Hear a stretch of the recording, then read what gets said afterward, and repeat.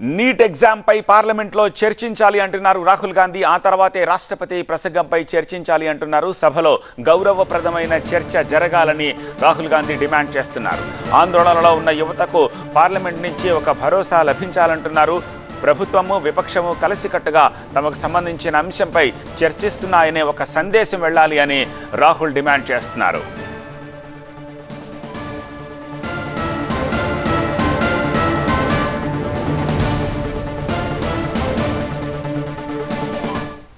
के जो floor leaders हैं, सबकी मीटिंग हुई और यूनानिमस था कि आज हमें नीट का जो इशू है, उस पर डिस्कशन चाहिए। हिंदुस्तान के स्टूडेंट से मैं कहना चाहता हूँ, ये आपका इशू है और हम सबको लगता है इंडिया गठबंधन को लगता है कि आज सबसे ज़रूरी बात आपकी है, क्योंकि आप हिंदुस्तान के भविष्य हो।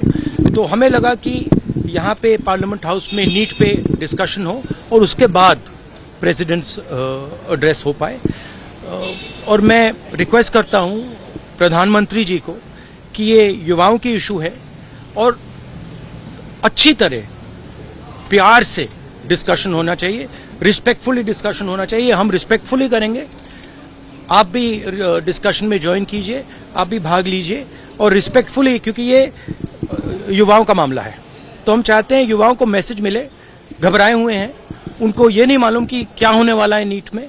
तो पार्लियामेंट से मैसेज जाना चाहिए, उनको भरोसा मिलना चाहिए कि हिंदुस्तान की सरकार और हिंदुस्तान का ऑपोजिशन एक साथ मिलकर स्टूडेंट्स की बात कर रहा है। तो ये ये आपको बताना चाह रहा सर